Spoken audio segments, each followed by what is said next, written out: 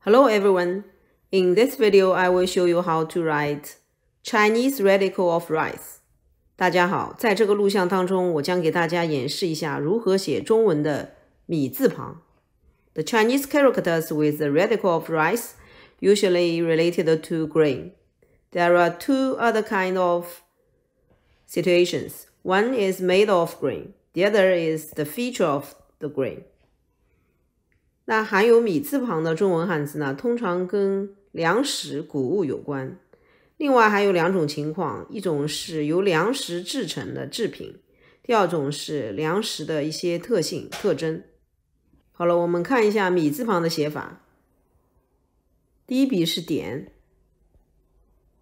第二笔是撇，第三笔是横，第三、第四笔是竖，然后是。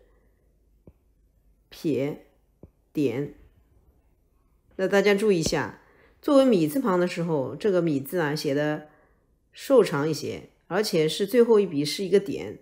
如果作为一个单独的米字的话，这个最后一笔是一个捺，那写的写的舒展一些。如果是单独的字。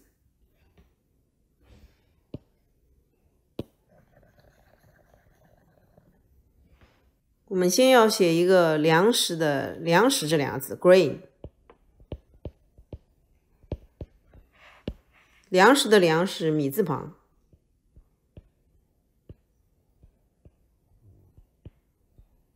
右面是一个优良的“良”，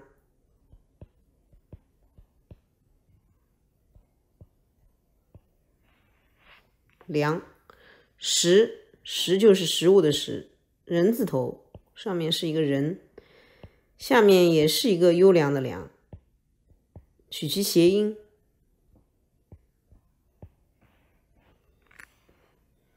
好，我们把拼音标上去。了一昂，粮，食食粮食。我们把粮食的粮的米字旁用红色勾出来。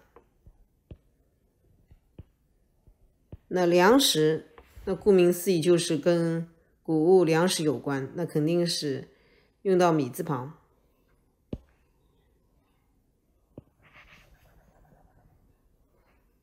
我们第二个要写的是面粉，flour，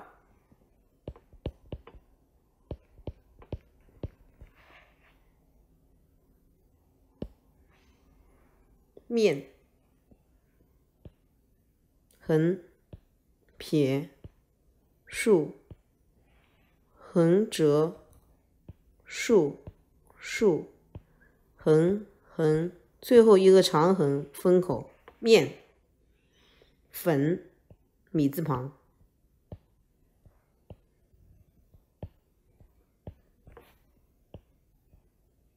右面呢是一个一分两分钱的分，取其谐音。面粉，我们把拼音标上去。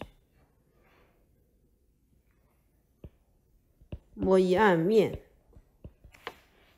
粉粉前鼻音。我们把面粉的粉字的米字旁用红色勾出来。面粉的话是用谷物粮食磨成粉以后。形成的，所以跟粮食有关，是粮食的制品、制成品，made of grain，所以用米字旁。那我们通过拆分法看一下，这边面粉的粉，右边是一个字，是分，分分，就是 cent，Chinese cent。一分钱的意思。好了，我们下面要写的是年糕，rice cake，在中国里面特有的食品，rice cake 年糕，一般是以前是过年的时候吃，现在是年四季都可以吃年，因为是过年的时候吃，所以年糕，米字旁，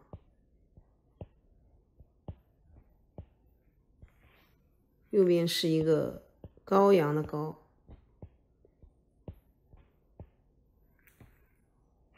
下面是四点底，年糕。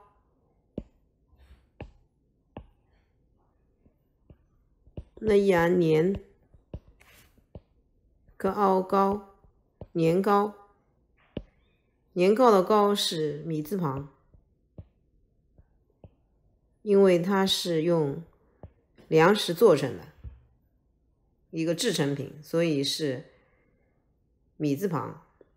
那另外呢，在因为糕字已经是米字旁了，所以我们在中文里面说蛋糕。蛋糕这的糕也是年糕的糕，因为蛋糕是面粉还有鸡蛋等一些配料做成的蛋糕 cake。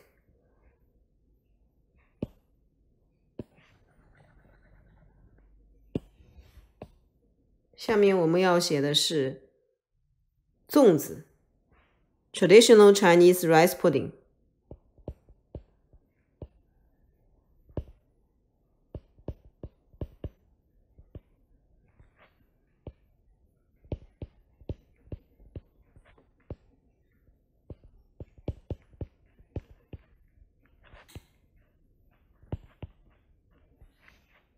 粽子呢，一般是在端午节的时候吃的。米字旁，右面是一个宗，宝盖头，下面一个是示范的示，粽子，子就是儿子的子。粽子，我们把拼音标上去。z o n 粽子子念作清音，所以没有音调，是一个点。粽子的粽带有米字旁，我们把米字旁标出来，用红色。那粽子呢，是由粽叶包裹着糯米。和一些配菜在里面，所以是用粮食制成的食物，所以用米字旁。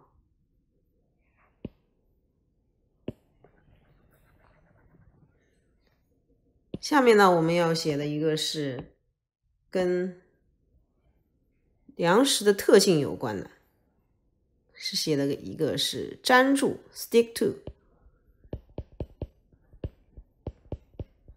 粘。粘住的粘是米字旁，右面呢是一个占领的占，是取其谐音，占粘住单人旁，一个主人的主，取其谐音，粘住。粘住，我看一下，我们把拼音标上去。治安粘，第一声；植物住，第四声。粘住，米字旁，粘字是米字旁。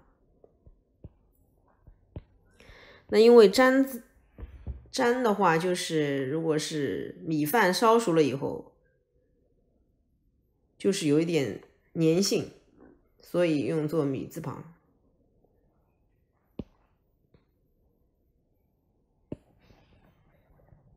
最后呢，我们要写的一个也是属于粮食谷物的一个特性。那个谷物在没有把外面的壳去掉的时候是比较粗糙粗糙的，所以我们写的是粗糙 （rough）。粗糙粗，米字旁，右面是一个并且的且，粗、糙也是米字旁。右面呢是一个造，人造的造，有三，一个是告，一个中间有一个走之底。造房子的造，右面是一个造房造。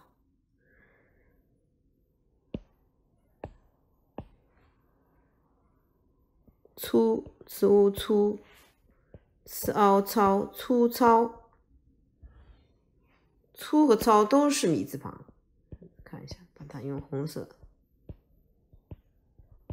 描出来，因为它是。粮食的一种特性，所以用到米字旁。Okay, that's all for today. Thanks for watching. See you next time. Bye.